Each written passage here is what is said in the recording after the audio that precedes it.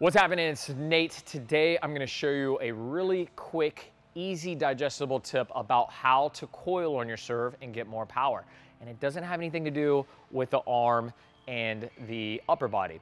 This is really, uh, this came about because we did a video a while back about not forcing a knee bend on your serve. Martin and I talked about how a lot of players disrupt. They end up with a disjointed serve. They're trying to force a knee bend, and it's causing more problems than it really is, or really than it's helping. And so we had a lot of questions about, well, how to coil. What's a great way to think about coiling without just thinking about your upper body because this gets, this is just part of the equation. And so the tip is, I want you to imagine there's a chair that's just slightly behind you in its place six, maybe eight inches out into the court. And when you're going through your service motion, you're going to bend forward as if you're trying to sit in the chair, right? Think about getting your, your caboose, right, your buttocks, for the lack of a better word, out to the chair. Now, this is very different than what we see a lot of times where players are going through their service motion and they're bending their knees as if they're sitting in the chair behind them. That's not what we want to do. Now, on a platform, you're going to find something a little bit more in between. On a platform, if you're not pulling your back foot up, it's going to be harder to get into this position. Obviously, on the pinpoint, it allows me to get a little bit further out. So pinpoint, chair maybe six, eight inches, platform, maybe three to six inches, right? All right, so let me show you this and I'll, I'll really talk about what this is doing through the serve as I'm working through this motion. All right, here we're taking a look at my serve, and what I'm really focusing on is keeping my upper body, especially my hand and my arm, super, super loose. Now my toss, ordinarily, if I was hitting like a kicker, I may toss parallel to the baseline, and this would really exaggerate that rotation, that coil. But I'm hitting a flat serve, and my preference is to keep the toss more towards one o'clock. So it's really important that I focus on getting the lower body out into the court.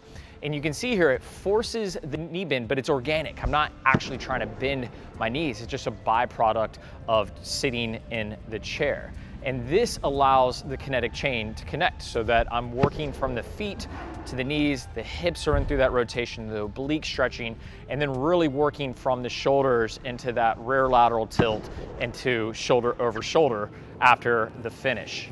Now at the highest level, you take a look at the Sam Groths and the Roddick's of the, of the game, they're gonna actually look like they're in 90 degrees sitting in a chair. But as we get older, myself 44, the knees aren't gonna let us get that low. We just wanna have this visual and really have this direction of where the lower body, the glutes are going in order to get the proper coil and knee bend.